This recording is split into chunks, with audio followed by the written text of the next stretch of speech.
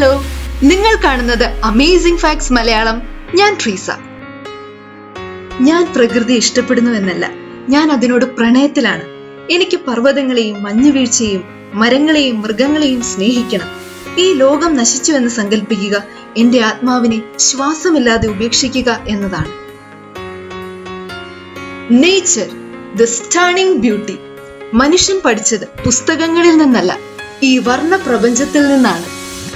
അതെ science copies natures secrets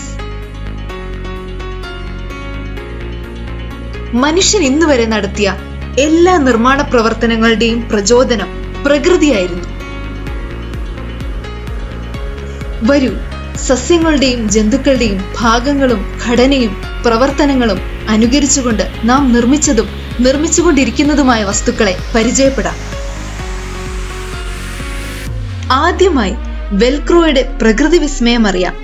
Velcro എന്ന ചെരുപ്പിൽ മാത്രമല്ല നാം ഉപയോഗിക്കുന്ന അനേകം വസ്തുക്കളിൽ വേണ്ടപ്പോൾ ചേർത്തൊട്ടിക്കാനും അല്ലാത്തപ്പോൾ വേർപെടുത്താനും ഉപയോഗിക്കുന്നു.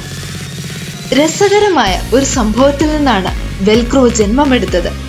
ആയിരത്തി തൊള്ളായിരത്തി നാൽപ്പത്തി ഒന്നിലെ ഒരു മഞ്ഞുകാലത്ത് ജോർജ് മെസ്ട്രൽ എന്ന സ്വിറ്റ്സർലൻഡുകാരനായ എഞ്ചിനീയർ തന്റെ വളർത്തുനായയായ റോക്കിയുമൊത്ത് ആൽപ്സ് പർവതനിരയുടെ താഴ്വാരത്ത് പ്രഭാത സവാരിക്ക് ഇറങ്ങിയതായിരുന്നു സവാരി കഴിഞ്ഞ് തിരിച്ചെത്തിയപ്പോഴാണ് തന്റെ വസ്ത്രങ്ങളിലും റോക്കിയുടെ മുഖത്തും ശരീരത്തുമെല്ലാം ചെറിയ കായ്കൾ പറ്റിപ്പിടിച്ചിരിക്കുന്നത് മെസ്ട്രലിന്റെ ശ്രദ്ധയിൽപ്പെട്ടത്.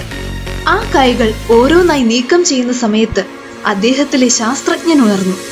എങ്ങനെയാണ് ഈ കായ്കൾ വസ്ത്രങ്ങളിലും നായയുടെ രോമങ്ങളിലും കോർത്തിരിക്കുന്നതെന്ന ചോദ്യം അദ്ദേഹത്തിന്റെ മനസ്സിലുദിച്ചു അതേപ്പറ്റിയുള്ള അദ്ദേഹത്തിന്റെ ചിന്തയും ഗവേഷണവുമാണ് വെൽക്രോ എന്ന വസ്തുവിന്റെ നിർമ്മാണത്തിലേക്കും അതിന്റെ വ്യാവസായിക അടിസ്ഥാനത്തിലുള്ള ഉൽപാദനത്തിലേക്കും നയിച്ചത്. ഒട്ടിപ്പിടിച്ച തരം കായകൾ ശേഖരിച്ച് മൈക്രോസ്കോപ്പിൽ കൂടി നിരീക്ഷിക്കുകയാണ് മെസ്ട്രൽ ആദ്യം ചെയ്തത്. ആ കായകളുടെ പുറന്തോട് നിറയെ കൊളുത്തുകൾ പോലെ നിൽക്കുന്ന അനേകം നാരുകൾ അദ്ദേഹത്തിന്റെ ശ്രദ്ധയിൽപ്പെട്ടു.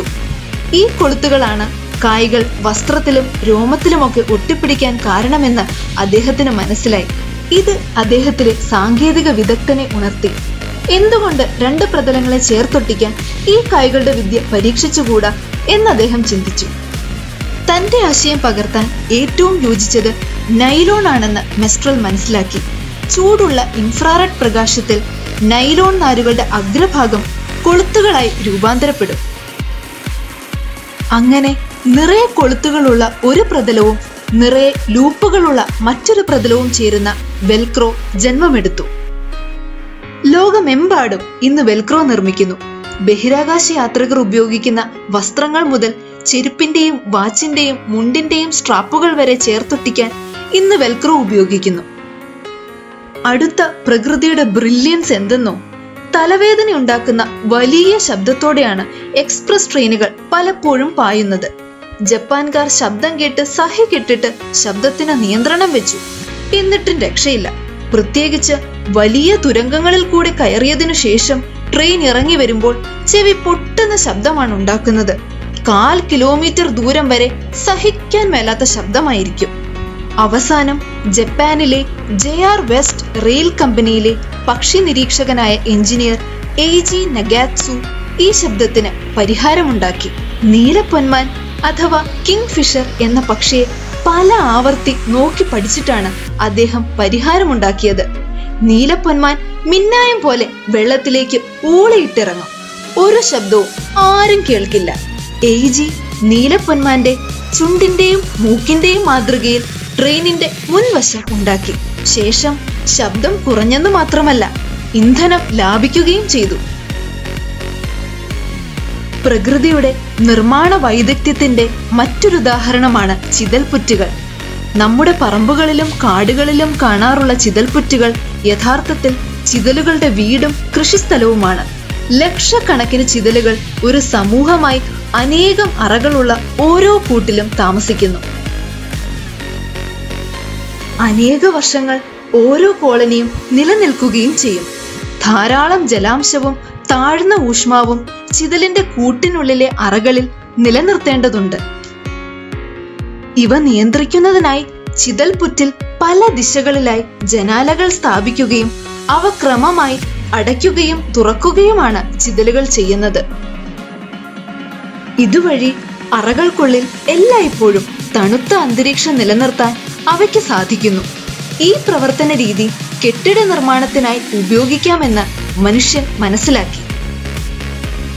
എയർ കണ്ടീഷണർ ഇല്ലാതെ തന്നെ ഒരു കെട്ടിടത്തിന്റെ ജാലകങ്ങളുടെ വിന്യാസവും ദിശയും അവ തുറക്കുന്നതും അടയ്ക്കുന്നതും ക്രമീകരിക്കുക വഴി കെട്ടിടത്തിനുള്ളിലെ ചൂട് നിയന്ത്രിക്കുവാൻ സാധിക്കുമെന്ന് ചിതലുകൾ നമുക്ക് തെളിയിച്ചു തന്നു. അത്തരം സാങ്കേതിക വിദ്യ ഉപയോഗിച്ച് നിർമ്മിച്ച ഒരു ഓഫീസ് സമുച്ചയമാണ് സിംബാബ്വെ തലസ്ഥാനമായ ഹരാരയിലുള്ള ഈസ്റ്റ് ഗേറ്റ് സെന്റർ. നമ്മുടെ പ്രകൃതി അണിയിച്ചൊരുക്കിയിരിക്കുന്നത് ഒരു brilliant creator choose only one master that's ആ നേച്ചർ പ്രകൃതിയുടെ വിസ്മയം ഇനിയും അവസാനിച്ചിട്ടില്ല. അടുത്ത ഭാഗത്തിനായി ഞങ്ങളോടൊപ്പം ഈ അറിവിന്റെ യാത്രയിൽ പങ്കുചേരൂ. നമുക്കൊന്നിച്ചറിവ് നേടാം. അതിനായി സബ്സ്ക്രൈബ് ലൈക്ക് ആൻഡ് ഷെയർ